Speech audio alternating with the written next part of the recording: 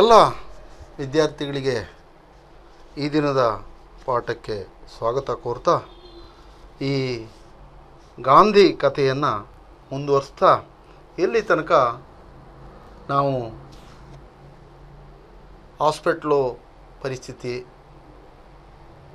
ವೈದ್ಯರ ಕುಚೇಷ್ಟೆ, ವೈದ್ಯರು ಮಾಡಿದಂಥ ಸಲಹೆ, ಇವನ್ನೆಲ್ಲ ನೋಡಿದ್ದೇವೆ.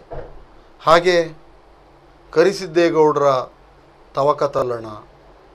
ಅವರು ಜಮೀನು ಸರ್ಕಾರ ವಶಪಡಿಸ್ಕೊಂಡು ಬರುವಂಥ ಸಂದರ್ಭ. ಹಾಗೆ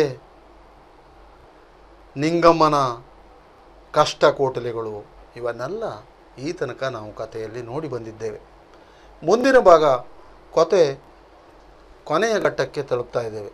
ಕೊತೆಯಲ್ಲಿ ಏನು ಪರಿಣಾಮಗಳು ಏನಿದ್ದಾವೆ, ಪರಿಸ್ಥಿತಿ ಏನಿದೆ, ಅದರ ಅವಲೋಕನ ಕೊನೆಯಲ್ಲಿ ಮಾಡ್ತಾ ಇದ್ದೇವೆ.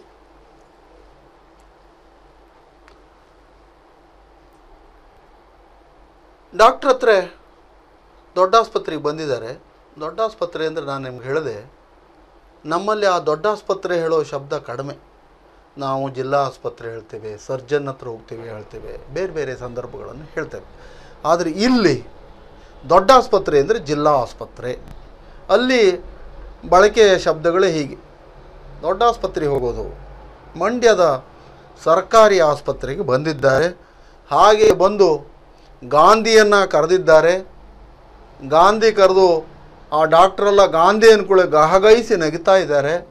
ಆ ಸಂದರ್ಭ ಒಳಗೆ ಮೂರು ಜನ ಸಂಸಾರ ಸಮೇತ ಎಲ್ಲ ಹೋಗಬೇಕು ಅನ್ನೋ ಅದರಿಂದ ಎಲ್ಲರೂ ಹೋದರು. ಆದರೆ ಅಲ್ಲಿರುವಂಥ ಜವಾನ ಅವರನ್ನು ತಡೆದು ಪದ್ದಿ ಮತ್ತು ನಿಂಗಮ್ಮನನ್ನು ತಡೆದು ಕರಿಸಿದ್ದೇಗೌಡ ಹಾಗೂ ಗಾಂಧಿಯನ್ನು ಮಾತ್ರ ಒಳಗೆ ಬಿಟ್ಟಿದ್ದಾರೆ. ಕರಿಸಿದ್ದೇಗೌಡ ತಮ್ಮ ಮುಂದೆ ಕರೆದು ತಂದು ನಿಲ್ಲಿಸಿದ ವ್ಯಕ್ತಿಯನ್ನು ವೈದ್ಯ, ಮಹಾಶಯರುಗಳೆಲ್ಲ ಒಂದು ವಿಚಿತ್ರ ಕಾಯಿಲೆಯನ್ನು ಪತ್ತೆ ಹಚ್ಚಿದಾಗಲೋ ಅಥವಾ ಕ್ಯಾನ್ಸರ್ ವ್ಯಾಧಿಗೆ ಔಷಧಿ ಕಂಡು ಹಿಡಿದಾಗಲೋ ಆಗುವ ವಿಸ್ಮಯದಂತೆ ನೋಡಿದರು. ನೋಡಿ, ಡಾಕ್ಟ್ರ್ ಮಾಡಿದಂಥ ಅವನನ್ನು ಕರ್ಕೊಂಡು ಹೋಗಿ ನೋಡಿದರೆ ಅವನ ರೋಗ ಏನಿದೆ, ಇವನು ಯಾಕೆ ಹೊಟ್ಟೆ ಡುಬ್ಬಣ್ಣಾಗಿದ್ದಾನೆ, ನರಪೇತಲ ಯಾಕಾಗಿದೆ ಅನ್ನೋದು ನೋಡೋದು ಬಿಟ್ಟು ಆಲೋಚನಾ ಕ್ರಮವನ್ನೇ ಬದಲಿಸಿಬಿಟ್ಟಿದ್ದಾರೆ. ಇವನ ಹೆಸರಿನ ಬಗ್ಗೆಯೇ ಇವರಿಗೆ ಚರ್ಚೆ ವಿಚರ್ಚೆ ಮಾಡ್ತಾ ಇದ್ದಾರೆ. ಅದನ್ನೇ ಇವರು ಗಹಗಹಿಸಿ ನಗ್ತಾ ಇದ್ದಾರೆ. ಇದು ಏನು ಹೇಗೆ ಆಲೋಚನೆ ಮಾಡಬೇಕು? ಒಂದು ಒಳ್ಳೆಯ ಮನಸ್ಸಿನಿಂದ ಸಮಾಜಮುಖಿಯಾದಂಥ ಆಲೋಚನೆ, ಚಿಂತನೆಯನ್ನು ಮಾಡಬೇಕಾಗಿದೆ. ನಾವು ಎಲ್ಲ ತಮ್ಮ ತಮ್ಮ ಕರ್ತವ್ಯದಲ್ಲಿ ತಾವು ಶ್ರದ್ಧೆಯಿಂದ ಮಾಡಿದಾಗ ಇಂಥ ಯಾವ ಹೊಲಸುಗಳು ಅಥವಾ ಅಪಸವ್ಯಗಳು ಬರೋದಿಲ್ಲ. ಆದರೆ ಇಂಥ ವ್ಯವಸ್ಥೆ ನಮ್ಮಲ್ಲಿ ಬಂದ್ಬಿಟ್ಟಿದೆ, ಬರಬಾರದು. ನೀವು ಕೂಡ, ನಮ್ಮ ವಿದ್ಯಾರ್ಥಿಗಳು, ನಾನು ನಿಮಗೆ ಒಂದು ಹೆಸರನ್ನು ಹೇಳ್ತೇನೆ, ನಿಮಗೆ ನಗು ಬರ್ತದೆ. ಇದು ಹೇಗೆ ಇಟ್ಟಿದ್ದೀರಪ್ಪ ಹೇಗೆ ಹೆಸರು ಇಡುವ ಮತ್ತೊಮ್ಮೆ ಮತ್ತೆ ಮತ್ತೆ ನಾನು ಇದನ್ನು ಪ್ರಸ್ತಾಪ ಮಾಡ್ತಾ ಇದ್ದೇನೆ. ಯಾಕೆ ಅಂದರೆ ನನ್ನ ಮಿತ್ರ ನಾನು ಬಿ ಎಡ್ ಮಾಡಬೇಕಾದ್ರೆ ಅವನು ಹೆಸರೆಲ್ಲ ಕೇಳ್ತಾ ಹೋದರು, ಎಲ್ಲರೂ ತಮ್ಮ ತಮ್ಮ ಹೆಸರು ಹೇಳ್ಕೊಂಡು ಹೋದರು. ನನ್ನ ಮಿತ್ರನ ಹೆಸರು ಹೇಳಿದ್ರು. ಏನಪ್ಪ ಹೆಸರು? ನನ್ನ ಹೆಸರು ಕೆಂಡಸಟ್ಟಿ ಅಂತಂದು. ಯಾವುದೋ ಒಂದು ದೇವರು. ಕೆಂಡ ಮಾಸತಿಯೋ ಯಾವುದೋ ಒಂದು ದೇವರು. ಅವನು ಕೆಂಡಸಟ್ಟಿ ಅಂತಂದು. ಎಲ್ಲ ನಕ್ಕರು ಯಾ, ಯಾಕೆ ನಗಬೇಕು? ಒಬ್ಬೊಬ್ಬರ ಹೆಸರು ಒಬ್ಬೊಬ್ಬರ ಥರ ಇರ್ತದೆ. ಇದಕ್ಕೆ ನಗಬೇಕಾ? ನಾವು ಯಾರೂ ನಗಬಾರ್ದು. ಅವರವರ ಹೆಸರು, ಅವರ ಅಪ್ಪ ತಾಯಿ ಇಟ್ಟಂಥ ಹೆಸರು.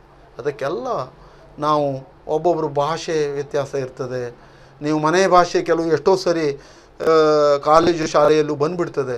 ಅದನ್ನೆಲ್ಲ ಭಾಷೆಯಿಂದ ನಗಬಾರ್ದು. ಎಲ್ಲ ಇವತ್ತು ಮೊದಲು ಐದು ಮೇಲಿಗೆ ಒಂದು ಭಾಷೆ ಬದಲಾವಣೆ ಅಂತಿತ್ತು ಇವತ್ತು ಎಲ್ಲೆಲ್ಲಿದೋ ಸಂಬಂಧಗಳು ಸೂತ್ರಗಳು ಆಗ್ತಾ ಇರೋದರಿಂದ ಭಾಷೆಯಲ್ಲಿ ಬದಲಾವಣೆ ಆಗ್ತಾ ಹೋಗ್ತದೆ. ಭಾಷೆಯ ವ್ಯತ್ಯಾಸ ಆಗ್ತಾ ಹೋಗ್ತಾ ಇದೆ. ಅದನ್ನು ಹೊಂದಿಸಿಕೊಂಡು, ಅದನ್ನು ನಮ್ಮದನ್ನಾಗಿ ಮಾಡಿಕೊಂಡು ನಾವು ಮುಂದಡಿ ಇಟ್ಟಾಗ ಮಾತ್ರ ಕೆಲಸ ಕಾರ್ಯಗಳು ಸುಸೂತ್ರವಾಗಿ ನಡೀಲಿಕ್ಕೆ ಸಾಧ್ಯ. ಈ ವೈದ್ಯರು ಹಾಗೆ ಮಾಡಬೇಕಾಗಿತ್ತು, ಬೇರೆ ಮಾಡಿದ್ರು. ಹಾಗೆ ಮಾಡಬಾರ್ದಾಗಿತ್ತು ಅವರು. ಅವರು ಅವನನ್ನು ಆರೈಕೆ ಮಾಡಿ ಕಳಿಸ್ಕೊಡೋ ಕೆಲಸ ಮಾಡಬೇಕಾಗಿತ್ತು ವಿನ ಇಷ್ಟೆಲ್ಲ ಅವನನ್ನು ಕಾಯಿಸೋ ಕೆಲಸ ಮಾಡಬಾರ್ದಾಗಿತ್ತು. ರೋಗಿಗೆ ತಕ್ಷಣ ಉಪಚಾರದ ಕ್ರಮ ಅನುಸರಿಸಬೇಕೇ ವಿನಃ ಹೆಸರಿನ ಬಗ್ಗೆ ಎತ್ಕೊಂಡು ಕೊಟ್ಟಿದ್ದು ನನಗಂತೂ ಆಶ್ಚರ್ಯದ ಸಂಗತಿ. ಕಥೆಯಲ್ಲಿ ಭಾಳ ಮಾರ್ಮಿಕವಾಗಿ ಹೇಳಿದ್ದಾರೆ ಅವರು. ಮಹಾತ್ಮ ಗಾಂಧಿ ಎಂದು ಕರೆಯಲ್ಪಡುವ ವ್ಯಕ್ತಿಯನ್ನು ಕಂಡು ಅವರಿಗೆ ಅಳಬೇಕೋ ನಗಬೇಕೋ ಅಥವಾ ನಂಬದಿರುವಂಥ ಒಂದು ಸ್ಥಿತಿಯಲ್ಲೇ ಇದ್ದು ಬಿಡಬೇಕು ಏನೂ ತೋಚದೆ ಪರೀಕ್ಷೆಯ ಕೊಠಡಿಗೆ ಕರೆದುಕೊಂಡು ಹೋಗಿ ಪರೀಕ್ಷೆ ಮಾಡಿ ಕರೆಸಿದ್ದೇಗೌಡನನ್ನು ಕರೆದು. ನಗಬೇಕೋ ಅಳಬೇಕೋ ನೋಡಿ ಹೆಸರಿಂದಾನೇ ಇವರಿಗಿಷ್ಟು. ಏನು ಮಾಡಬೇಕು? ಹೇಗೆ ಬಿಟ್ಬಿಡಬೇಕು? ಇವನನ್ನು ಕರ್ಕೊಂಡು ಹೋಗಬೇಕೋ, ಮಲಗಿಸ್ಬೇಕೋ? ಇದೇ ಆಲೋಚನೆ ಇದೆ. ಆದರೆ ಖಂಡಿತವಾಗಿಯೂ ಇದಲ್ಲ. ಇವನನ್ನು ರೋಗವನ್ನು ಕಂಡುಹಿಡಿದು, ರೋಗವನ್ನು ಪತ್ತೆ ಮಾಡಿ ಔಷಧಿಯನ್ನು ಮಾಡಬೇಕಾದದ್ದು ಭಾಳ ಪ್ರಮುಖ. ನೋಡಯ್ಯ ನಿನ್ನ ಮೊಮ್ಮಗನಿಗೆ ಹೃದಯ ಹಾಗೂ ಮೂತ್ರಪಿಂಡಗಳ ಕಾಯಿಲೆ. ಔಷಧಿಗಳಲ್ಲೆಲ್ಲಾನು ಬರೆದು ಕೊಡ್ತೀವಿ. ತಗೋ, ಹೇಗೆ ಸೇವಿಸಬೇಕು ಅನ್ನೋದು ಹೇಳ್ತೀವಿ. ಹಾಗೆ ಕೊಡು, ಸ್ವಲ್ಪ ಹುಷಾರಾಗುತ್ತೆ ಎಂದರು. ಕರಿಸಿದ್ದೇಗೌಡನ್ನು ಕತ್ತಿಡಿದು ನೀರಿಗೆ ಅದುಮಿದಂತೆ ಆಯಿತು. ನೋಡಿ, ಕರಿಸಿದ್ದೇಗೌಡನಿಗೆ ಇವನ ಆರೋಗ್ಯ ಸಂಪೂರ್ಣ ಗೊತ್ತಿದೆ, ಇವನ ಆರೋಗ್ಯ ಹದಗೆಟ್ಟಿದೆ ಅಂತ ಮನಸ್ಸಿನಲ್ಲಿದೆ. ಆದರೆ ಡಾಕ್ಟ್ರು ಕೂಡ ಏನು ಮಾಡಿದ್ರು? ಇವನನ್ನು ಅಡ್ಮಿಟ್ ಮಾಡ್ಕೊಳ್ಬೇಕಾಗಿತ್ತು. ಆದರೆ ಇವನನ್ನು ಮಾಡದೆ ಏನು ಮಾಡಿಬಿಟ್ರು? ಔಷಧಿ ತಗೋಪ, ನಾನು ಎರಡು ಗುಳಿಗೆ ಮಾತ್ರೆಯನ್ನು ಬರೆದು ಕೊಡ್ತೇನೆ, ಔಷಧಿ ತೊಗೊಂಡ್ರೆ ಸ್ವಲ್ಪ ಕಡಿಮೆ ಆಗ್ತದೆ ಅಂತ ಹೇಳ್ತಾರೆ. ಕರಿಸಿದ್ದೇಗೌಡನಿಗೆ ಆಶ್ಚರ್ಯವಾಗಿ ಹೋಯಿತು. ಇದೇನಿದು ನನ್ನ ಪ್ರಾರಬ್ಧ. ನನಗೇನು ಕಷ್ಟ ಬಂತಪ್ಪ ಇದು? ಒಮ್ಮೆಲೆ ನೀರಿನಲ್ಲಿ ಅದುಮಿದ ಹಾಗೆ ಆಗುತ್ತೆ. ಕತ್ತಿಡಿದು ನೀರಿನಲ್ಲಿ ಅದುಮಿದಂತೆ ಹಾಗೆ ಅವನ ಕಷ್ಟ ಬಂತು. ಏನಪ್ಪ ಈ ಮಗನ ಮಗುವಿನ ರಕ್ಷಣೆ ಮಾಡೋದು ಹೇಗೆ? ಇವನ ಆರೋಗ್ಯ ಕಾಪಾಡೋದು ಹೇಗೆ ಅಂತ ನೂರೆಂಟು ಆಲೋಚನೆಗಳು ಬಂದು ಅವನಿಗೆ ಒಂದು ರೀತಿಯ ತ್ರಾಸು, ಒಂದು ರೀತಿಯ ಕಷ್ಟ, ಮನೋವ್ಯಾಕುಲತೆ ಉಂಟಾಯಿತು. ನಿಂದಮ್ಮಯ್ಯ, ಏನೋ ನನ್ನ ಮೊಮ್ಮಗನನ್ನು ನಿನ್ನ ದಮ್ಮಯ್ಯ. ದಮ್ಮಯ್ಯ ಹೇಳ್ತೀನಿ. ಡಾಕ್ಟ್ರೇ ಹೇಗಾದರೂ ಬದುಕಿಸ್ಕೊಡಿ ನನ್ನ ಮೊಮ್ಮಗನ. ನಿನ್ನ ದಮ್ಮಯ್ಯ, ಏನು ನನ್ನ ಮೊಮ್ಮಗನನ್ನು ಕಾಪಾಡಿ, ಇಲ್ಲೇ ಹೊಸ ದಿನ ಇಟ್ಕೊಂಡು ಉಳಿಸ್ಕೊಡಿ. ಇಲ್ಲೇ ಸ್ವಲ್ಪ ದಿನ, ಕೆಲವು ದಿನಗಳು ಇಟ್ಕೊಂಡು ಉಳಿಸ್ಕೊಡಿ ಸ್ವಾಮಿ. ನನ್ನ ಮಗನ ಹೇಗಾದರೂ, ಮೊಮ್ಮಗನ ಹೇಗಾದರೂ ಬದುಕಿಸ್ಕೊಡಿ. ಬದುಕಿ ಅವನು ಒಳ್ಳೆಯವನು, ಅವನು ಒಳ್ಳೆಯ ಹುಡುಗ. ಹುಟ್ಟಬೇಕಾದ್ರೆ ಭಾಳ ಸುಂದರವಾಗಿ ಕಾಣ್ತಾ ಇದ್ದ. ಏನೋ ಆಕಸ್ಮಿಕ ಕಾಯಿಲೆ ಬಂದ್ಬಿಡ್ತು.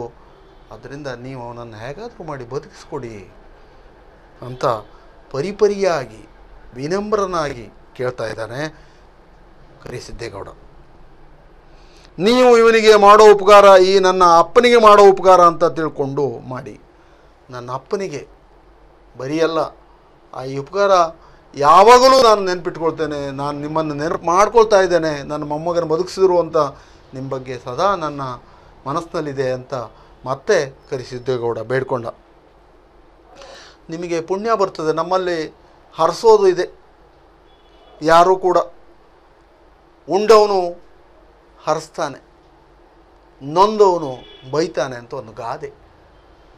ಎಲ್ಲೋ ಇವತ್ತು ಭಿಕ್ಷುಕರಿಗೆ ಅಥವಾ ಊಟಕ್ಕಿಲ್ಲದ ಹೋದವರಿಗೆ ಒಂದು ತುತ್ತು ಊಟವನ್ನು, ಅನ್ನವನ್ನು ಕೊಟ್ಟರೆ ಭಾಳ ಖುಷಿಯಿಂದ ಹಸಿವಾದ ಜೀವ ಒಳ್ಳೇದಾಗಲಪ್ಪ ನಿಮ್ಮನೆಲ್ಲೆಲ್ಲ ಒಳ್ಳೆಯದಾಗಲಿ ಅಂತ ಹಾರಿಸಿ ಹೋಗ್ತಾರೆ.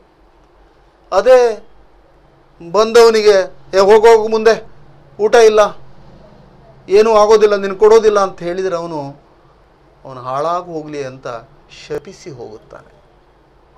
ನಾವು ಯಾವಾಗಲೂ ಹಾಗೆ ಮಾಡಬಾರ್ದು. ಇವತ್ತು ಗ್ರಾಮೀಣ ಬದುಕಿನಲ್ಲಿ ನನಗೆ ನನ್ನ, ನಾನು ಬೆಳೆದಂಥ ಪರಿಸರದಲ್ಲಿ ನನಗೆ ಕಾಣಿಸ್ತಾ ಇತ್ತು. ಎಷ್ಟೆಲ್ಲ ಜನ ಭಿಕ್ಷುಕರು ಬರ್ತಿದ್ದರು ಕುರುಕುರು ರಾಮ್ ಮಾಮ ಅಂತ ಒಬ್ಬರು ಬರ್ತಿದ್ದರು ಕುರುಕುರು ಮಾಮ, ಕೊಂಡ ಮಾಮ ಅಂತ. ಹಾಗೆ ಸುಡುಗಾಡಿಸಿದ್ರು ಬಂದು ಅವರು ಮಾಡ್ತಿದ್ರು. ದುರುಗಿ ಮುರುಗಿ ಅಂತ ಅಮ್ಮನವ್ರು ತಗೊಂಡು ಬರ್ತಿದ್ರು.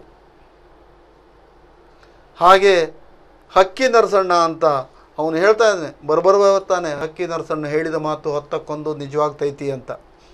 ಇವರೆಲ್ಲ ಬಂದು ಈ ಜನಪರದರ ಮನೆಯಲ್ಲಿ ಅಥವಾ ಗ್ರಾಮೀಣ ಬದುಕಿನಲ್ಲಿ ಊಟೋಪಚಾರವನ್ನು ಮಾಡಿ ಅವರನ್ನು ಹರಿಸಿ ಹೋಗುವಂಥ ಒಂದು ಸಂದರ್ಭಗಳು ನಾವು ಕಾಣ್ತಿದ್ವಿ. ಬರ್ತಾ ಬರ್ತಾ ಬರ್ತಾ ಹೊಸ ಕಾಲ ಬರ್ತಾ ಇದೆ. ಎಲೆಕ್ಟ್ರಾನಿಕ್ಸ್ ಯುಗ ಇದು. ಈ ಎಲ್ಲದಕ್ಕೂ ಪುರುಸೊತ್ತಿಲ್ಲ. ಯಾರಿಗೂ ಸಮಯ ಇಲ್ಲ ಅಂಥ ಒಂದು ಕಾಲಘಟ್ಟದಲ್ಲಿ ನಾವಿದ್ದೇವೆ. ಆದ್ದರಿಂದ ನಾವು ಪ್ರಾತಸ್ಮರಣೆಯನ್ನು ಮಾಡಿಕೊಳ್ಬೇಕಾದದ್ದು. ಉಪಕಾರ ಮಾಡಿದವ್ರನ್ನ ಸದಾ ನಾವು ನೆನೆಯಬೇಕಾದದ್ದು ನಮ್ಮ ಕರ್ತವ್ಯ. ಅದನ್ನು ನೀವು ಯಾವಾಗಲೂ ನಮ್ಮ ವಿದ್ಯಾರ್ಥಿಗಳು ಮನಸ್ಸಿನಲ್ಲಿಟ್ಕೊಳ್ಳೇಬೇಕು. ಉಪಕಾರ ಮಾಡಿದವ್ರನ್ನ ಅವರಿಗೆ ಹೀಯಾಳಿಸುವಂಥದ್ದು ಇನ್ಯಾವುದೋ ಸಂದರ್ಭದಲ್ಲಿ ಬೈಯುವಂಥದ್ದು ಕೆಲಸ ಮಾಡಬೇಡಿ. ಅವ್ರನ್ನ ನೆನಪು ಮಾಡಿಕೊಳ್ಳಿ ಸದಾ ಅವರು ಪ್ರಾತಸ್ಮರಣೀಯರು. ಅದನ್ನು ನೀವು ಇಡ್ತಾ ಹೋಗಬೇಕು. ಅದನ್ನು ಇಟ್ಟಾಗ ಮಾತ್ರ ನಮ್ಮ ಸಂಸ್ಕೃತಿ, ನಮ್ಮ ವಿಚಾರಗಳು, ನಮ್ಮ ಆಚಾರಗಳು ಅದು ಉನ್ನತ ಸ್ಥಾನಕ್ಕೆ ನಿಮ್ಮನ್ನು ಏರಿಸಲಿಕ್ಕೆ ಸಹಾಯ ಮಾಡ್ತದೆ. ಅದರಿಂದ ನಾವು ಸಂಸ್ಕೃತಿವಂತರಾಗಬೇಕು, ಸಂಸ್ಕಾರಯುತವರಾಗಿ ಬದುಕಬೇಕು. ಸಂಸ್ಕಾರಯುತವಾದಂಥ ಶಿಕ್ಷಣವನ್ನು ಪಡಿಬೇಕು. ನಿಮಗೆ ಯಾರು ಹೇಳ್ಕೊಡೋದಿಲ್ಲ ಇವತ್ತು. ನೀನು ಸ್ವಚ್ಛ ಮಾಡಿಡು, ನೀವು ನೀವೇ ಕಲಿಬೇಕಾದಂಥದ್ದು ಅಂಥ ಒಂದು ಹೊಸ ಕಾಲ ಬಂದ್ಬಿಟ್ಟಿದೆ ಇವತ್ತು. ಮೊದಲನ ಕಾಲದಲ್ಲಿ ಗುಡಿಸುವಂಥದ್ದು ಗಾಂಧಿಯ ಪರಿಕಲ್ಪನೆ, ನಮ್ಮ ಬೇಕಾದಂಥ ವಸ್ತುವನ್ನು ನಾವೇ ಸಿದ್ಧಪಡಿಸಿ ಉಪಯೋಗಿಸುವಂಥ ಒಂದು ಸಂದರ್ಭಗಳಿದ್ವು. ಇವತ್ತು ಹಾಗಲ್ಲ. ಬೇರೆ ಹೊಸ ಕಲ್ಪನೆಗಳು ಬಂದ್ಬಿಟ್ಟಿದ್ದಾವೆ. ಆದರೂ ಕೂಡ ನಾವು ಹಳೆಬೇರು ಹೊಸ ಚಿಗುರು ಕೂಡಿರಲು ಬಲು ಸೊಗಸುವಂತ. ಹಳೆದನ್ನು ಬಿಡದೆ ಹೊಸದನ್ನು ಸೇರಿಸ್ಕೊಂಡು ಬದುಕನ್ನು ಮುಂದಡಿ ಇಡಬೇಕಾದಂಥ ಸನ್ನಿವೇಶ. ನೀವು ಆ ಕೆಲಸವನ್ನು ಮಾಡಬೇಕು.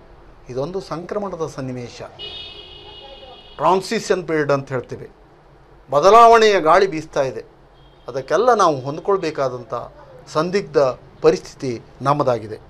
ಅದರಿಂದ ನಾನು ಇಷ್ಟೆಲ್ಲ ಯಾಕೆ ಹೇಳಿದೆ ಅಂದರೆ ಇಲ್ಲಿ ನಿಮ್ಮನ್ನು ಯಾವಾಗಲೂ ನೆನ್ಕೊಳ್ತೇನೆ ಸ್ವಾಮಿ. ನನ್ನ ಮೊಗ, ಮೊಮ್ಮಗನ ಬದುಕಿಸ್ಕೊಡಿ ಸ್ವಾಮಿ. ಹೇಗಾದರೂ ಮಾಡಿ.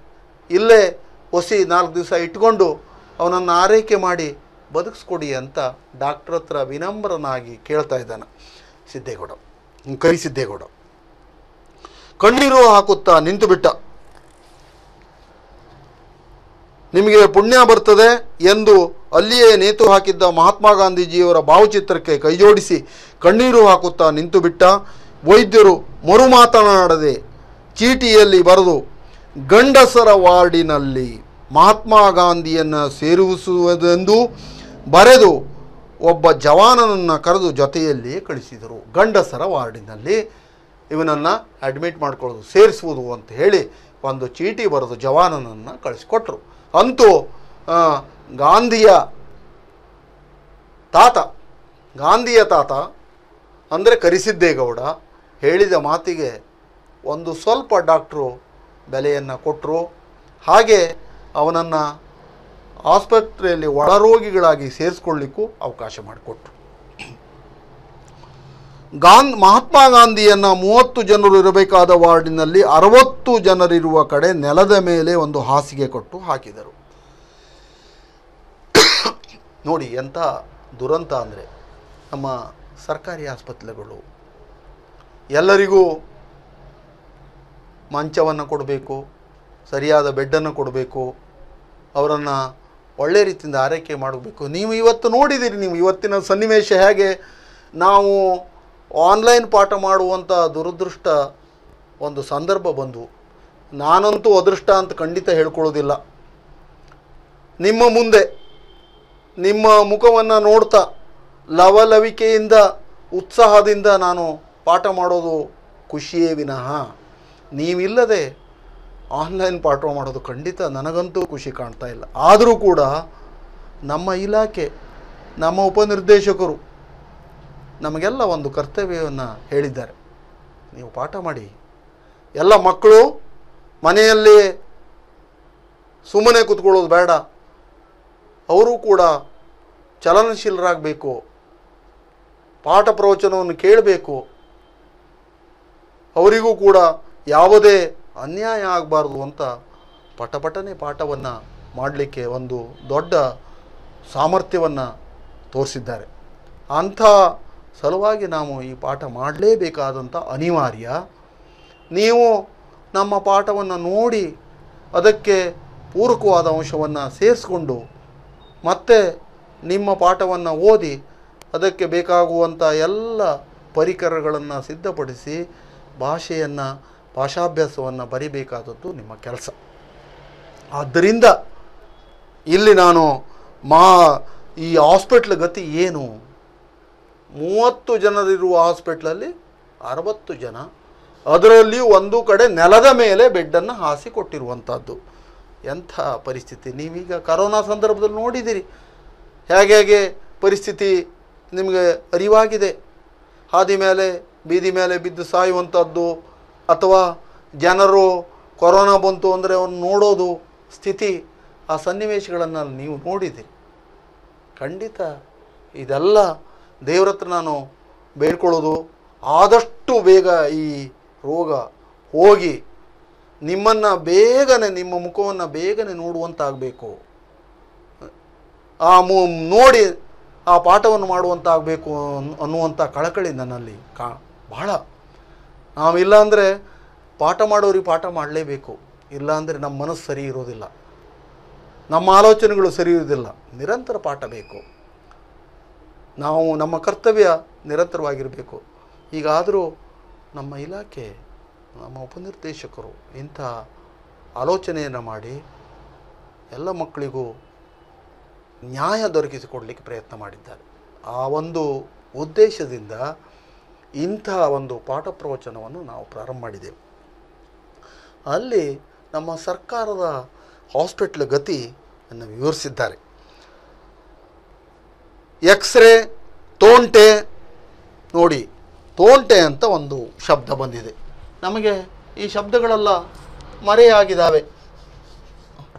ತೋಂಟೆ. ಕಫ ಕಫ ಪರೀಕ್ಷೆ. ಕಫ ಪರೀಕ್ಷೆಯನ್ನು ಮಾಡಬೇಕಾದದ್ದು.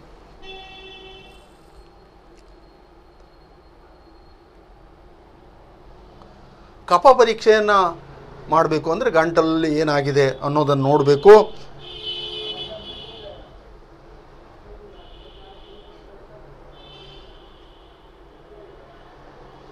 ವೈದ್ಯರು ಬರೆದುಕೊಟ್ಟ ಔಷಧಿಗಳು ತಂದು ಕೊಡೋದಕ್ಕೆ ಮೂರು ದಿವಸಕ್ಕೆ ಕರೆದುಕೊಂಡು ಪುಡಿ ಪುಟ್ಟ ಗಂಟು ಕರಗಿ ಹೋಯಿತು. ಒಂದೇ, ಆಗ ಪುಡಿ ಗಂಟು ತಗೊಂಡು ಹೋಗಿದ್ರು ಚಿಲ್ಲರೆಯನ್ನು ಆ ಗಂಟೆಲ್ಲ ಮೂರೇ ದಿವಸಕ್ಕೆ ಎಲ್ಲ ಖರ್ಚಾಗೋಯಿತು. ಇವ್ರು ಬರ್ಕೊಡುವಂಥದ್ದು, ಔಷಧಿಯ ಉಪಚಾರಗಳು, ಎಕ್ಸ್ರೇ, ಬೇರೆ ಎಲ್ಲ ಖರ್ಚು ವೆಚ್ಚಗಳು ಹೆಚ್ಚಾಗಿದ್ದಾವೆ. ಊರಿಂದ ದೂರ ಬಂದಿದ್ದಾರೆ. ಎಲ್ಲ ಖಾಲಿಯಾಯಿತು. ಕರಿಸಿದ್ದಗೌಡನಿಗೆ ಚಿಂತೆ ಶುರುವಾಯಿತು. ಇನ್ನು ಮೇ ಮಾಡೋದು ಹೇಗಪ್ಪ? ಹಣವನ್ನು ಹೊಂದಿಸೋದು ಹೇಗೆ ಅನ್ನುವಂಥ ಚಿಂತೆ ಶುರುವಾಯಿತು. ನಾಲ್ಕನೆಯ ದಿನ ತನ್ನ ಅವ್ವ ನಿಂಗಮ್ಮ, ತನ್ನ ತಂಗಿ, ತಂಗಿಯ ಕಿವಿಯ ಮತ್ತು ತನ್ನ ಕಿವಿಯ ಓಲೆಗಳನ್ನು ಬಿಚ್ಚಿ ತನ್ನ ಅಯ್ಯನಿಗೆ ಏಕೆ ಕೊಡುತ್ತಿದ್ದೇವೆಂಬುದನ್ನು ಊಹಿಸಿ ತನ್ನ ಪ್ರೀತಿಯ ಅಯ್ಯನನ್ನು ಕರೆದು ಕೇಳಿದ, ಅಯ್ಯ, ನನ್ನ ಊರಿಗೆ ಕರ್ಕೊಂಡು ಹೋಗು. ನಡಿ, ನನ್ನ ಹಣೆ ಬರ ಇದ್ದಂಗೆ ಆಗ್ತದೆ ಅಂತ. ಪರಿಸ್ಥಿತಿ ಪಾಪ. ನಾವು ಮೂಗುತೆಯನ್ನು, ಕಿವಿ ಓಲೆಯನ್ನು ತೆಗೆಯುವಂಥ ಸಂದರ್ಭ ಒಂದು. ಯಾವುದೋ? ಕೊನೆಯ ಸಂದರ್ಭದಲ್ಲಿ ನಾವು ಇದನ್ನೆಲ್ಲ ತೆಗಿತೇವೆ. ಸಾಮಾನ್ಯಕ್ಕೆ ಹೆಣ್ಣುಮಕ್ಕಳು ಕಿವಿಯ ಓಲೆಯನ್ನು, ಮೂಗುತೆಯನ್ನು ತೆಗೆಯೋದಿಲ್ಲ. ಕರುಣಾಜನಕ ಸ್ಥಿತಿ, ಬಡತನದ ಬೇಗೆ. ಆದರೆ ಗಾಂಧಿಯನ್ನು ಬದುಕಿಸಬೇಕು. ಈ ಎಲ್ಲದರ ಮಧ್ಯದಲ್ಲಿ ಇವರು ಹೇಗಾದರೂ ಮಾಡಿ ಹಣವನ್ನು ಸಂಗ್ರಹಿಸಬೇಕು ಅನ್ನುವಂಥ ಉದ್ದೇಶದಿಂದ, ಇದನ್ನೆಲ್ಲ ಗಾಂಧಿ ನೋಡ್ತಾ ಇದ್ದಾನೆ ಪ್ರತ್ಯಕ್ಷ. ತನ್ನ ಬಗ್ಗಾಗಿ ಮಾಡ್ತಾ ಇದ್ದಾರೆ ಅನ್ನುವಂಥದ್ದು. ಆದರೆ ವಿಧಿ ಇಲ್ಲದೆ ಅದನ್ನೆಲ್ಲ ತೆಕ್ಕೊಟ್ರು. ಪದ್ದಿಯ ಕಿವಿಯಲ್ಲಿರುವಂಥ ಓಲೆ. ನಂತರ ಇವಳು ಓಲೆ ಕಿವಿಯ ಮೂಗುತ್ತೆ ಇವೆಲ್ಲ ತೆಕ್ಕೊಟ್ಟು ಆದರೂ ಮತ್ತೆ ಹೇಳ್ತಾ ಇದ್ದಾನೆ, ಅಯ್ಯ, ನನ್ನ ಊರಿಗೆ ಕರ್ಕೊಂಡು ನಡಿ, ನನ್ನ ಹಣೆ ಬರ ಇದ್ದಂಗೆ ಆಗ್ತೈತಿ ಅಂತ ಹೇಳ್ತಾ ಇದ್ದಾನೆ. ಗಾಂಧಿ ಹೇಳ್ತಾ ಇದ್ದಾನೆ ನನ್ನ ಕರ್ಕೊಂಡು ಹೋಗ್ಬಿಡು, ಸಾಕು, ಇನ್ನೇನು ಮಾಡೋದು ನನಗೆ ಗೊತ್ತಾಯಿತು. ನಾನು ಮೊದಲೇ ಹೇಳಿದ್ದೇನೆ, ಗಾಂಧಿಗೆ ಅರವತ್ತರ ವಯಸ್ಸಿನ ಅನುಭವ ಹದಿನೈದನೇ ವರ್ಷಕ್ಕೆ ಆಗಿದೆ. ಏನೆಲ್ಲ ಕಷ್ಟ ಕೋಟಲೆ ಆಗಬೇಕು? ಆರೋಗ್ಯದ ಸಮಸ್ಯೆ, ಬಡತನದ ಸಮಸ್ಯೆ, ಒಂದು ಕಡೆ ತಂದೆ ತೀರುವುದಂಥ ಸಮಸ್ಯೆ ನೋಡಿ, ಏನೆಲ್ಲ ಕಷ್ಟ ಬಂದಿದೆ? ಎರಡಲ್ಲ, ಮೂರಲ್ಲ, ನಾಲ್ಕಾರು ಸಮಸ್ಯೆಗಳು ಒಟ್ಟೊಟ್ಟಿಗೆ ಬಂದಾಗ ಮನುಷ್ಯ ಸಹಿಸಿಕೊಳ್ಳುವುದು ಕಷ್ಟ ಆಗ್ತದೆ. ಇವನಿಗೆ ಆರೋಗ್ಯದ ಸಮಸ್ಯೆಯೂ ಕೂಡ. ಹದಿನೈದು ವರ್ಷಕ್ಕೆ ಅರವತ್ತು ವರ್ಷದ ಅನುಭವ ಬರ್ತಾ ಇದೆ ಇವನಿಗೆ ಅವೆಲ್ಲ ಕಷ್ಟಗಳನ್ನು ಕಾಣ್ತಾ ಇದ್ದಾನೆ. ಅಂಥ ಒಂದು ಸಂದಿಗ್ಧ ಪರಿಸ್ಥಿತಿ. ಹಂಗೆಲ್ಲ ಮಾತಾಡಬೇಡ. ನಾನು ಇನ್ನೂ ಬದುಕಿರ್ನೀಕಲ್ಲ ಮಗ, ನಿನ್ನ ಉಳಿಸ್ಕೋತೀನಿ. ಆ ಮಂಡ್ಯದ ಸೊಗಡಿನ ಭಾಷೆನೇ. ಬದುಕಿರ್ನೀಕಲ್ಲ ನಾನು ನಿನ್ನನ್ನು ಬದುಕಿಸ್ಕೊಳ್ತೀನಿ. ನೀನು ಯಾಕೆ ಯೋಚನೆ ಮಾಡ್ತೀನಿ ನಾನಿದ್ದೇನೆ. ನಾನಿನ್ನೂ ಜೀವಂತ ಇದ್ದೇನೆ. ನಿನ್ನ, ನಿನ್ನೆಲ್ಲ ಆಸೆಯನ್ನು ಈಡೇರಿಸ್ಲಿಕ್ಕಿದ್ದೇನೆ. ನಿನಗೆ ಆರೋಗ್ಯ ಮಾಡಿಕೊಡುವಂಥ ಜವಾಬ್ದಾರಿ ನನ್ನದು ಅಂತ ಮತ್ತೆ ಮತ್ತೆ ಅವ್ರಿಗೆ ಗೊತ್ತಿದೆ. ಮನಸ್ಸಿನಲ್ಲೆಲ್ಲ ಗೊತ್ತಿದೆ. ಗೌಡ್ರಿಗೆ, ಕರೆಸಿದ್ದೇ ಗೌಡ್ರಿಗೆ, ತನ್ನ ಮೊಮ್ಮಗನ ಸ್ಥಿತಿ ಎಲ್ಲವೂ ಆಲೋಚನೆ ಇದೆ ಅವರಿಗೆ. ಆದರೂ ಕೂಡ ನಾನು ನುಂಗಿದರೆ ಸುಡ್ತದೆ, ಉಗುಳಿದರೆ ಕೆಡ್ತದೆ. ಒಂದೇ ಸರಿ ಹೇಳಿಬಿಟ್ರೆ ತನ್ನ ಮಗಳ ಪರಿಸ್ಥಿತಿ ಏನಾಗ್ಬೋದು ಅಂತ. ಈ ಎಲ್ಲವನ್ನ ಒಂದು ಕ್ರೋಢೀಕರಿಸಬೇಕಾದಂಥದ್ದು ಕರಿಸಿದ್ದೇಗೌಡರಿಗೆ ಬಂದಿದೆ. ತನ್ನ ಮೇಲೆ ಅಯ್ಯನಿಗಿರುವ ಪ್ರೀತಿಗಾಗಿ ಗಾಂಧಿಗೆ ಅಳು ಒಳಗಿಂದ ಗುದ್ದುಕೊಂಡು ಬಂತು. ಗಾಂಧಿಗೆ ಇದನ್ನೆಲ್ಲ ನೋಡಿ ಅಳು ಬರ್ತಾ ಇದೆ. ನನ್ನ ಪರಿಸ್ಥಿತಿ ಏನಪ್ಪ? ನನ್ನ ಗತಿ ಏನು? ಮತ್ತು ಮತ್ತು ರೋಗ ಉಲ್ಬಣವಾಗ್ತಾ ಇದೆಯೇ ವಿನಃ ಕಡಿಮೆ ಆಗುವ ಲಕ್ಷಣವೇ ಕಂಡು ಬರ್ತಾ ಇಲ್ಲ. ಮತ್ತು ಉಲ್ಬಣ ಆಗ್ತಾ ಇದೆ. ತನ್ನ ಪ್ರೀತಿಯ ಅಯ್ಯನ ತೊಡೆಯ ಮೇಲೆ ತಲೆ ಮಡಗಿಕೊಂಡು ದೃಷ್ಟಿಗೆ ದೃಷ್ಟಿ ಸೇರಿಸಿ ಹೇಳಿದ. ತನ್ನ ತೊಡೆಯ ಮೇಲೆ ಮಡಗಿ, ಅಂದರೆ ಕುಳಿತು ಇಡುವುದು ಅಂತ, ಮೊಡಗು ಅನ್ನುವಂಥ ಶಬ್ದ ನಮ್ಮಲ್ಲಿ ಕಡಿಮೆ. ಮೊಡಗು ಅನ್ನುವಂಥದ್ದಂದರೆ ಅಲ್ಲಿ ಇಡು, ಮೊಡಗು ಅಂದರೆ ಇಡು ಅನ್ನುವಂಥ ಶಬ್ದ.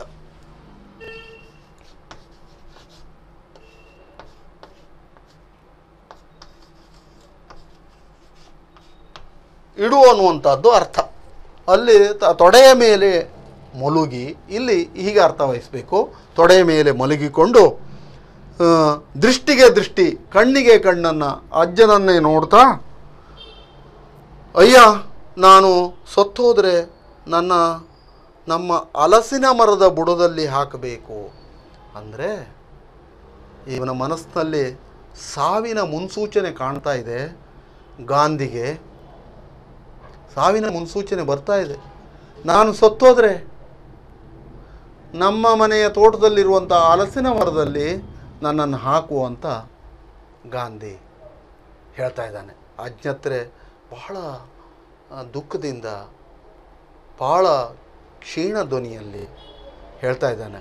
ನಮಗೂ ಕೂಡ ಎಂಥ ಒಬ್ಬ ಪರಿಸ್ಥಿತಿ ಬಂತಪ್ಪ, ಒಬ್ಬ ಬಡ ಕುಟುಂಬಕ್ಕೆ ಈ ಥರದಲ್ಲೆಲ್ಲ ಬರ್ತದಲ್ಲ ಕಷ್ಟ ಅನ್ನುವಂಥದ್ದು, ಅದು ಖಂಡಿತವಾಗಿಯೂ ದುಃಖ ಆಗ್ತಂಥದ್ದು. ಕರಿಸಿದ್ದೇಗೌಡ ಬಿಕ್ಕಿ ಬಿಕ್ಕಿ ಹತ್ತು ಬಿಟ್ಟ.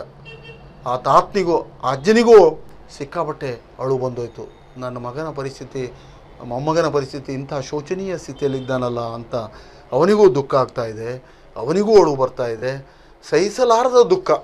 ಈಗಾಗಲೇ ಅಳಿಯ ತೀರ್ಕೊಂಡಿದ್ದಾನೆ.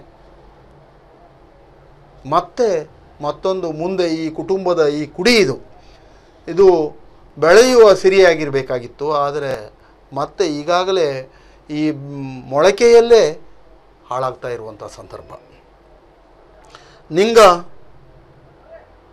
ನಿಂಗಕ್ಕ ಬುಡ್ತು ಅನ್ನು ಎಂದು ಗಾಂಧಿಯನ್ನು ಗದರಿಕೊಂಡಳು, ಪದ್ದಿ ಅಣ್ಣ ಅಣ್ಣ ಎಂದು ಬಿಕ್ಕಿಸಿ ಹತ್ತು ಬಿಟ್ಟಳು. ಇಲ್ಲಿ ಅಳುವಂಥದ್ದು ಒಬ್ಬರ ಹತ್ತು ಕುಳೆ ಮತ್ತೆ ಅಳುವಂಥ ಸಂದರ್ಭ. ಯಾವಾಗಲೂ ದುಃಖದ ಸಂದರ್ಭದಲ್ಲೇ ಹೀಗೆ. ಒಬ್ಬರ ಜೊತೆಗೆ ಮತ್ತೊಬ್ಬರು ಅಳೋದು, ಮತ್ತೆ ಎಲ್ಲಿಂದನೂ ಬಂದಾಗ ಮತ್ತವ್ರ ಜೊತೆಗೆ ಅಳೋದು. ದುಃಖ ಯಾರಿಗೂ ಬರಬಾರ್ದು. ಯಾವಾಗಲೂ ಆದರೂ ಬಂದೇ ಬರ್ತದೆ. ಒಂದಲ್ಲ ಒಂದು ಸಾವು ಅನ್ನೋದು ಮನುಷ್ಯನಿಗೆ ಹುಟ್ಟಿದ ತಕ್ಷಣ ಸಾವು ಒಂದು ದಿವಸ ಇದ್ದೇ ಇದೆ ಅನ್ನುವಂಥದ್ದು ಖಂಡಿತ ಇದು. ಯಾರೂ ಇವತ್ತು ಅಜರಾಮರರು ಅಲ್ಲ, ಅಥವಾ ಸದಾ ಯಾವಾಗಲೂ ಈ ಲೋಕದಲ್ಲೇ ಇರುವಂಥವರು ಅಲ್ಲ. ಸಾವು ಇದ್ದೇ ಇದೆ. ಆದರೆ ಅಕಾಲಿಕ ಸಾವು ಖಂಡಿತ ನೋವನ್ನು ತರ್ತದೆ. ಸಕಾಲಿಕವಾದಂಥ ಸಾವು ಪ್ರತಿಯೊಬ್ಬ ಮನುಷ್ಯನಿಗೂ ವಯಸ್ಸಾದ ಮೇಲೆ ರೋಗ ರುಜಿನಗಳು ಬರ್ತವೆ. ಅಥವಾ ಹೃದಯ ಸ್ತಂಭನವಾಗ್ತದೆ, ಸಾಯ್ತಾರೆ. ಆಗ ಯಾರಿಗೂ ಅಂಥ ದುಃಖ ಸನ್ನಿವೇಶ ಬರೋದಿಲ್ಲ ಇದು ಅಕಾಲಿಕವಾದಂಥ ಸಾವು ಬರ್ತಾ ಇರುವಂಥದ್ದನ್ನೆಲ್ಲ ಮುನ್ಸೂಚನೆ ತೋರಿಸ್ತಾ ಇದ್ದಾರೆ. ಇಷ್ಟೆಲ್ಲ ನಡೆಯುತ್ತಿರುವಾಗ ಎಂ ಡಿ ಪಾಸು ಮಾಡಿರುವ ದೊಡ್ಡ ಡಾಕ್ಟರ್ ಸಾಹೇಬರು ದಯಮಾಡಿಸಿ ಗಾಂಧಿಯನ್ನು ಪರೀಕ್ಷೆ ಮಾಡಿ ಒಂದು ಚೀಟಿಯನ್ನು, ಔಷಧಿಯನ್ನು ಬರೆದು ಆದಷ್ಟು ಬೇಗ ತರಿಸಬೇಕೆಂದು ಅಪ್ಪಣೆ ಮಾಡಿ ಬೇರೆ ರೋಗಿಗಳನ್ನು ನೋಡತೊಡಗಿದರು. ಇಲ್ಲಿ ಹೇಳಿಬಿಟ್ರು? ತಕ್ಷಣ ದೊಡ್ಡ ಪಾಸಾದಂಥ ಡಾಕ್ಟ್ರು, ನೋಡಿ ಔಷಧಿ ಎಲ್ಲ ಬರ್ಕೊಡ್ತಾ ಇದ್ದೇನೆ. ಇದನ್ನು ಆದಷ್ಟು ಶೀಘ್ರವಾಗಿ ಔಷಧಿಯನ್ನು ತರಬೇಕು. ತಂದರೆ ಹೇಗಾದರೂ ಗುಣಪಡಿಸ್ತೇವೆ ಅನ್ನೋದು ಗ್ಯಾರಂಟಿ ಅವರು ಹೇಳಲಿಲ್ಲ ತನ್ನಿ ಔಷಧಿಯನ್ನು ತನ್ನಿ ಅಂತ ಒಂದು ಚೀಟಿ ಬರೆದು ಕೊಟ್ಟು ದೊಡ್ಡ ಡಾಕ್ಟ್ರು ಎಂ ಡಿ ಪಾಸಾದ ಡಾಕ್ಟ್ರು ಅಂತ ಹೇಳಿದ್ದಾರೆ. ಇವತ್ತು ಎಂ ಡಿ ಪಾಸಾದ ಡಾಕ್ಟ್ರು ಅಥವಾ ಅದು ಇದು ಅಂತ ನೋಡೋದಿಲ್ಲ, ಒಟ್ಟು ಸ್ಪೆಷಲಿಸ್ಟ್ಗಳು. ಒಂದೊಂದು ಅಂಗಗಳಿಗೂ ವಿಶೇಷವಾದಂಥ ಡಾಕ್ಟ್ರುಗಳು ಇವತ್ತು ವೈದ್ಯರು ಇದ್ದಾರೆ ಮೊದಲು ನಮ್ಮ ಡಾಕ್ಟ್ರುಗಳು ಹೇಗಿದ್ದರು ಅಂದರೆ, ಕೈಯನ್ನು ಮುಟ್ಟಿ ಅವನ ಎಲ್ಲ ರೋಗ ಲಕ್ಷಣಗಳನ್ನು ಹೇಳ್ತಿದ್ದರು ಇವತ್ತು ಎಲ್ಲ ಉಪಕರಣಗಳನ್ನು ಬಳಸಿಯೂ ರೋಗ ಕಂಡುಹಿಡಿಲಿಕ್ಕೆ ಆಗದ ಸನ್ನಿವೇಶ ಉಂಟಾಗಿದೆ. ಅಂತಹ ರೋಗಗಳು ಬರ್ತಾ ಇದ್ದಾವೆ ಅಥವಾ ಯಾರ್ಯಾರ ವೈಫಲ್ಯ ಏನು ಅನ್ನುವಂಥದ್ದು ನಮ್ಗೆ ಗೊತ್ತಾಗೋದಿಲ್ಲ. ಆದರೂ ಕೂಡ ಡಾಕ್ಟ್ರು ಅವರ ಆಲೋಚನಾ ಕ್ರಮಗಳು ರೋಗದ ಕಡೆ ಇರಬೇಕೇ ವಿನ ಹೆಸರಿನ ಕಡೆಗೆ ಇರಬಾರ್ದಾಗಿತ್ತು. ಮತ್ತೊಮ್ಮೆ ನಾನು ನನಗೆ ಈ ಕಥೆಯಲ್ಲಿ ಬರುವಂಥ ಹೆಸರನ್ನೇ ಇಟ್ಕೊಂಡು ಇಷ್ಟೆಲ್ಲ ಮಾಡಿದ್ದಾರಲ್ಲ ಅನ್ನುವಂಥದ್ದು. ಮಗಳು ಮತ್ತು ಮೊಮ್ಮಗಳು ಓಲೆಗಳನ್ನು ತೆಗೆದುಕೊಂಡು ಊರಿಗೆ ಬಂದ ಕರಿಸಿದ್ದೇಗೌಡ ಗಿರಿವಿ ಇಡಲು ಯತ್ನಿಸಿದ. ಗಿರವಿ. ಇದು ನಮಗೆ ಪದ ಇದೆ ಇದು.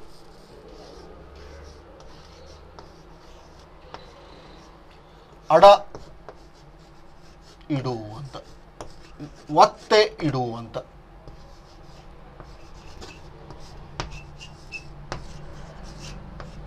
ಒತ್ತೆ ಬೇರೆಯವ್ರ ಹತ್ರ ಈ ಓಲೆ ಮೂಗುತೆಯನ್ನು ಇಟ್ಟು ತರುವಂಥದ್ದು ಓಲೆ ಮೂಗುತೆಯನ್ನೆಲ್ಲ ಇಟ್ಟು ತರಬೇಕಾದದ್ದು ದುಡ್ಡು.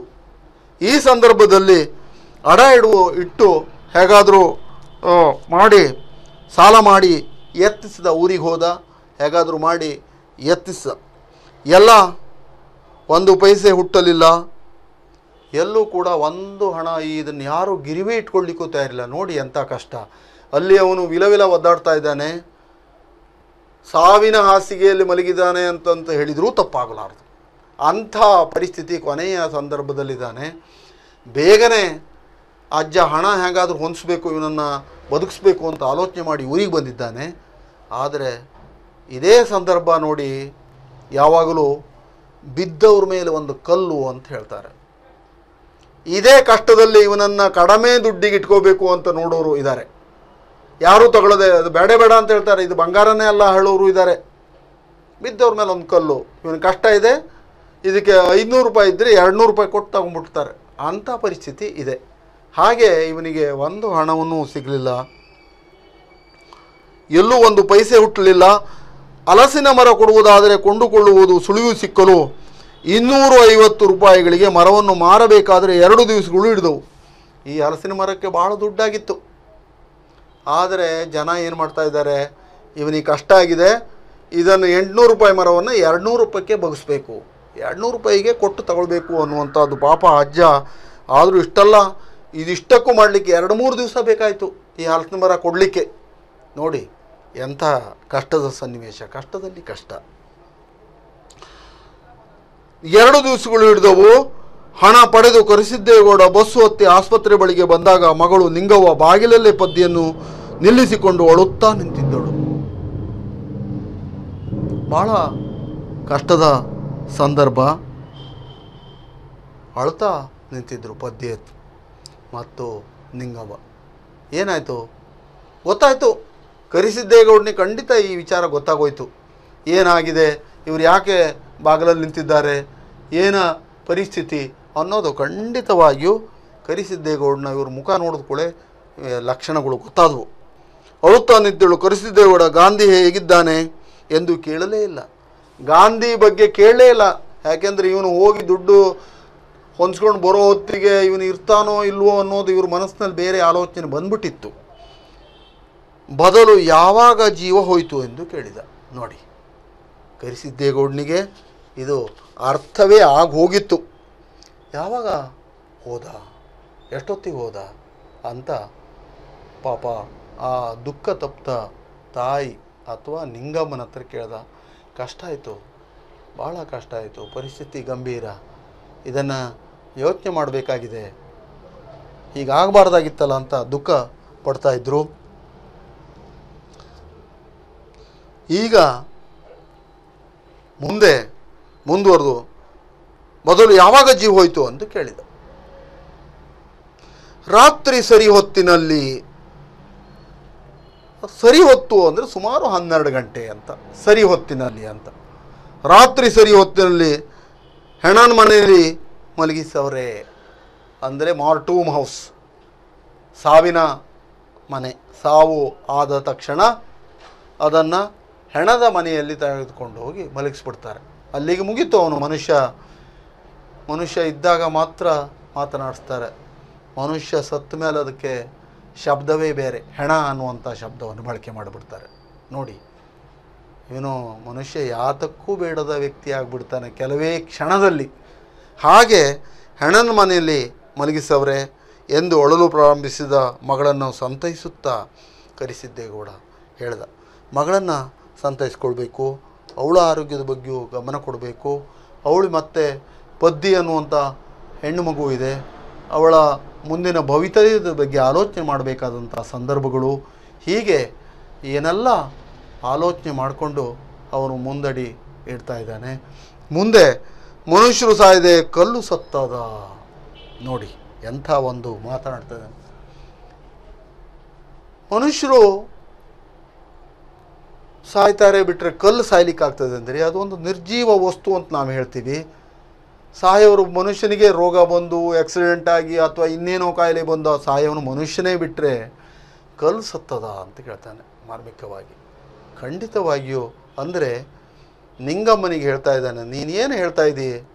ಮನುಷ್ಯರೇ ಸಾಯೋರು ಮತ್ತಾರೂ ಅಲ್ಲ. ಒಬ್ಬರು ಮೊದಲು ಮತ್ತೊಬ್ಬರು ಕಡೆಗೆ ಅಷ್ಟೇ. ಯಾರು ಹುಟ್ಟಿದ ಮೇಲೆ ಮನುಷ್ಯ ಸಾಯಲೇಬೇಕು. ಇದು ನಮಗೆ ತಿಳಿದಂಥ ವಿಚಾರ. ಆದರೆ ಇಲ್ಲಿ ಈ ನಾಟಕದಲ್ಲಿ ಭಾಳ ಮುಖ್ಯವಾಗಿ ಬಾಳಿ ಬದುಕಬೇಕಾದಂಥ ಗಾಂಧಿ ಅಕಾಲಿಕ ಸಾವು ಖಂಡಿತವಾಗಿಯೂ ದುಃಖ ಬರೆಸ್ತದೆ ನಮಗೆ. ಹಾಗೆ ಅವನ ಕರುಣಾಜನಕ ಸ್ಥಿತಿ ಆರೋಗ್ಯ ಹೀನನಾಗಿರುವಂಥದ್ದು ಹದಿವಯಸ್ಸಿನಲ್ಲಿಯೇ ಅರವತ್ತರ ಅನುಭವ ಬಂದಿರುವಂಥದ್ದು ಮತ್ತು ತನ್ನ ಬೇಡಿಕೆಯನ್ನು ಅಜ್ಜನ ಹತ್ರ ಹೇಳ್ತಾ ಇರುವಂಥದ್ದು ತನ್ನ ಬೇಡಿಕೆ ಇದೆ, ಆದರೆ ಗಾಂಧಿ ಕನಸು ಕನಸಾಗಿ ಉಳಿತು. ಮಹೋನ್ನತ ಆದರ್ಶವನ್ನು ಭಾರತದಲ್ಲಿ ಮಾಡಬೇಕು, ಸತ್ಯ, ಶಾಂತಿ, ಅಹಿಂಸೆಯನ್ನು ನಿರಂತರ ಭಾರತದಲ್ಲಿ ಇರಬೇಕು ಅಂತ ಕಂಡಿದ್ದರು ಅದೂ ಕೂಡ ಕನಸಾಗಿಯೇ ಉಳಿಯಿತು. ಈ ನಾಟಕದಲ್ಲಿ ಬರುವ ಗಾಂಧಿಯ ಕನಸು ಕೂಡ ನನಸಾಗಿ ಉಳಿತು. ಹೇಗೆ? ಹಲಸಿನ ಮರದ ಅಡಿಗೆ ನನ್ನನ್ನು ಹಾಕಬೇಕು ಅಂತ ಹೇಳಿದ್ದ. ಆದರೆ ಗಾಂಧಿಗೆ ದುಡ್ಡನ್ನು ನೋಟ್ ಮಾಡಬೇಕಾದ್ರೆ ಹಲಸಿನ ಮರವನ್ನೇ ಕಡಿಬೇಕಾದಂಥ ಸಂದರ್ಭ ಬಂತು. ಎರಡೂ ಕನಸುಗಳು, ಗಾಂಧಿಯ ಆದರ್ಶ, ಮಹೋನ್ನತ ವಿಚಾರಗಳು, ಸತ್ಯ, ಶಾಂತಿ, ಅಹಿಂಸೆ, ತ್ಯಾಗ ಇವೇನೆಲ್ಲ ನಮ್ಮ ಭಾರತದಲ್ಲಿ ನಿರಂತರವಾಗಿ ಉಳಿಬೇಕು ಅನ್ನೋದು ನಮಗೆ, ನಿಮಗೆ, ನಮಗೆಲ್ಲ ಗೊತ್ತಿದೆ. ಹೇಗಾಗಿದೆ ಅನ್ನುವಂಥದ್ದು. ಅದು ಕನಸಾಗಿ ಉಳಿತು. ನಾಟಕದಲ್ಲಿ ಬರುವಂಥ ಒಬ್ಬ ಕರುಣಾಜನಕ ಸ್ಥಿತಿಯಲ್ಲಿರುವಂಥ, ಬಡ ಕುಟುಂಬದ ಬಂದಂಥ ಒಬ್ಬ ಹುಡುಗನ ದೈನ್ಯ ಸ್ಥಿತಿಯೂ ಇದಾಯಿತು. ಅವನ ಕನಸು ಆಗಲಿಲ್ಲ. ಅಂದರೆ ಒಟ್ಟಾರೆ ಈ ನಾಟಕದಲ್ಲಿ ಇನ್ನೊಂದು ಮನುಷ್ಯ ಸಾಯದೆ ಕಲ್ಲು ಸತ್ತದ ಸುಮ್ಕಿರು ಮಂತೆ. ಸುಮ್ಕಿರು ಮಗಳೇ, ಸುಮ್ಕಿರು ಎಂದು ಗಾಂಧಿಯು ಹೆಣವನ್ನು ಪಡೆಯಲು ಅಪ್ಪಣೆಗಾಗಿ ದೊಡ್ಡ ಸಾಹೇಬರ ರೂಮಿನ ಕಡೆ ಹೆಜ್ಜೆ ಹಾಕಿದ. ದೊಡ್ಡ ಸಾಹೇಬರ ರೂಮಿನ ಕಡೆಗೆ ಹೆಜ್ಜೆ ಹಾಕಿದ. ಅವನು ಹೋಗಬೇಕು, ಅಲ್ಲಿ ಹೆಣವನ್ನು ತೆಗೆದುಕೊಂಡು ಕೊನೆಯಲ್ಲಿ ಅಂತ್ಯ ಸಂಸ್ಕಾರ ಮಾಡಬೇಕಾದಂಥದ್ದು ಇದೆಯಲ್ಲ? ಅದಕ್ಕೆ ಪಾಪ ಕರಿಸಿದ್ದೇಗೌಡ ಎಲ್ಲ ತನ್ನೆಲ್ಲ ದುಃಖವನ್ನು ಅದಮಿಟ್ಟು ಮಗನ, ಮೊಮ್ಮಗನ ಸಂಸ್ಕಾರದ ಬಗ್ಗೆ ಆಲೋಚನೆ ಮಾಡ್ತಾ ಮುಂದಡಿ ಇಟ್ಟ. ಹೀಗೆ ನಾಟಕದಲ್ಲಿ ಅದರಲ್ಲಿಯೂ ಸಾರಿ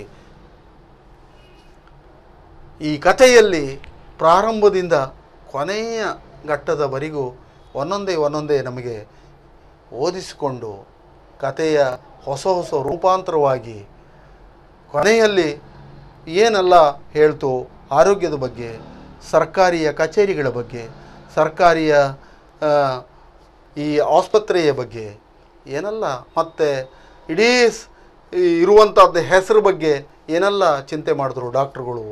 ಮತ್ತು ತಾಯಿಯ ತವಕ ತಲ್ಲಣ ಅಜ್ಜನ ಕಷ್ಟ ಕೋಟಲೆಗಳು ಹಾಗೆ ಜೋಯಿಸರುದ್ರು ಹೋದಂಥ ಸಂದರ್ಭಗಳು, ಇವೆಲ್ಲ ಒಟ್ಟಾರೆಯಾಗಿ ಕತೆ ಭಾಳ ಅರ್ಥಪೂರ್ಣವಾಗಿ ಬರೋ ಮೂಡಿ ಬಂತು.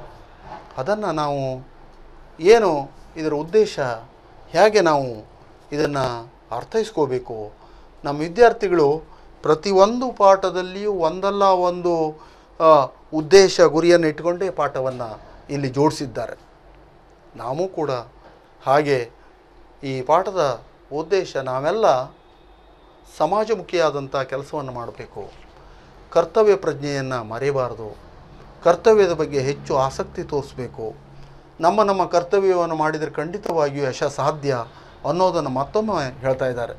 ಇಲ್ಲಿ ಈ ಗಾಂಧಿಯ ಒಂದು ಕರುಣಾಜನಕ ಸ್ಥಿತಿ ಸಾವಿನ ಜೊತೆಯಲ್ಲಿ ಇದೆ. ಹೀಗೆ ಈ ಕಥೆ ಅದ್ಭುತವಾಗಿ ಮೂಡಿ ಬಂದಂಥದ್ದು ತಾವೆಲ್ಲರೂ ಕೂಡ ನಮ್ಮ ವಿದ್ಯಾರ್ಥಿಗಳು ಇದರ ಬಗ್ಗೆ ಆಸಕ್ತಿಯಿಂದ ಹೀಗೆ ನೀವು ಕತೆ ಓದುವಂಥದ್ದನ್ನು ಕಲಿಬೇಕಾಗಿದೆ. ಬೇಕಾದಷ್ಟು ನೀತಿ ಕಥೆಗಳು, ಇಸೋಪನ ನೀತಿ ಕಥೆಗಳು, ಪಂಚತಂತ್ರದ ಕಥೆಗಳು, ಮಾಸ್ತಿಯವರ ಕಥೆಗಳು, ಬೇರೆ ಬೇರೆ ಕಥೆಗಳು ಬಂದಿದ್ದಾವೆ. ನೀವು ಕೂಡ ಈ ಕಥೆಯ ಹಣಿಯುವ ಅಥವಾ ಕಥೆಯನ್ನು ಬರೆಯುವಂಥ ಒಂದು ಸಾಮರ್ಥ್ಯವನ್ನು ರೂಢಿಸ್ಕೊಳ್ಬೇಕು. ಕಥೆಯನ್ನು ಬರಿಬೇಕು. ನೀವು ಬರೆದಾಗ ಅದು ನೀವು ಒಂದು ನಿರ್ದಿಷ್ಟ ರೂಪದಲ್ಲೇ ಬರಬೇಕು ಅಂತಲ್ಲ. ಮೊದಲು ಆ ಬಗ್ಗೆ ಪ್ರಯತ್ನ ಮಾಡಬೇಕು.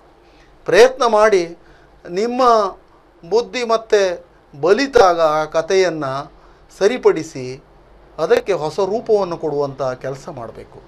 ನಿಮಗೆ ಬಂದಿದ್ದನ್ನು ಗೀಚಬೇಕು ಅಂತ ಹೇಳ್ತೇನೆ ನಾನು. ಬಂದಿದ್ದನ್ನು ಒಂದು ಪಠ್ಯದಲ್ಲಿ ಗೀಚಿ, ನಂತರದಲ್ಲಿ ಅದಕ್ಕೆ ಹೊಸ ಆವಿಷ್ಕಾರವನ್ನು ಕೊಟ್ಟರೆ ಅದು ಖಂಡಿತವಾಗಿ ಒಂದು ಪರಿಪೂರ್ಣ ಕಥೆಯಾಗಿ ಮಾಡಬಲ್ಲುವುದು ಆ ಬಗ್ಗೆ ಪ್ರಯತ್ನ ಮಾಡಿ, ಆ ಬಗ್ಗೆ ಯಶ ಖಂಡಿತ ಆಗ್ತದೆ ಅಂಥೇಳಿ. ನಾ, ನಾನು ಇಲ್ಲಿ ಭಾಳ ಮುಖ್ಯವಾಗಿ ಪದಕೋಶಗಳು ಇದ್ದಾವೆ ನಾನು ಎಷ್ಟೋ ಪದಕೋಶಗಳನ್ನು ಬೋರ್ಡ್ನಲ್ಲಿ ಬರೆದಿದ್ದೇನೆ. ಹಾಗೆ ನಾನಾರ್ಥಗಳಿದ್ದಾವೆ ಹಾಗೆ ಅನುಕರಣ ವಾಚಕ ಶಬ್ದಗಳನ್ನು ಬರೆದಿದ್ದೇನೆ. ಕೆಲವು ಗಾದೆಗಳನ್ನು ಹೇಳಿದ್ದೇನೆ. ಹಾಗೆ ನುಡಿಗಟ್ಟುಗಳು ಇಲ್ಲಿ ಇದ್ದಾವೆ ಇವನ್ನೆಲ್ಲ ಕೆಳಗೆ ಭಾಷಾಭ್ಯಾಸಗಳು ಅಂತಿದ್ದಾವೆ ಅದರಲ್ಲಿ ಸಂದರ್ಭ ಸೂಚಿಗಳನ್ನು ವಿವರಿಸುವಂಥದ್ದು ಒಂದು ವಾಕ್ಯದಲ್ಲಿ ಉತ್ತರ ಬರೆಯುವಂಥದ್ದು ಮೂರು ವಾಕ್ಯಗಳಲ್ಲಿ, ಎರಡು ಮೂರು ವಾಕ್ಯದಲ್ಲಿ ಉತ್ತರ ಮತ್ತು ಐದಾರು ವಾಕ್ಯದಲ್ಲಿ ಉತ್ತರ. ಹೀಗೆ ಇಷ್ಟು ಭಾಷಾಭ್ಯಾಸವನ್ನು ಕೂಡ ನೀವು ಈ ಪಾಠ ಓದಿ, ಪಾಠವನ್ನು ಕೇಳಿ, ನಂತರದಲ್ಲಿ ಇದನ್ನು ಬರೆದ್ರೆ ಖಂಡಿತವಾಗಿಯೂ ನಿಮಗೆ ಈ ಪಾಠದ ಬಗ್ಗೆ ಸಂಪೂರ್ಣ ಹಿಡಿತ ಬರ್ತದೆ.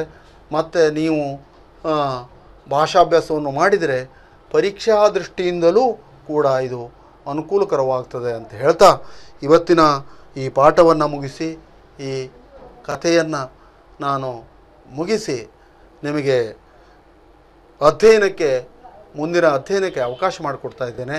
ನೀವೆಲ್ಲರೂ ಕೂಡ ಈ ಕಥೆಯನ್ನು ಓದಿ, ಮತ್ತೊಮ್ಮೆ ಓದಿ, ಇದರ ಎಲ್ಲ ಆಯಾಮಗಳನ್ನು ಗಮನಿಸಿ, ನೋಡಿ ಭಾಷಾಭ್ಯಾಸವನ್ನು ಸಿದ್ಧಪಡಿಸಿ. ಇವತ್ತಿಗೆ ಈ ಪಾಠ ಮುಕ್ತಾಯ ಮಾಡ್ತೇನೆ. ಮುಂದಿನ ತರಗತಿಯಲ್ಲಿ ಮುಂದಿನ ಪಾಠವನ್ನು ನೋಡೋಣ.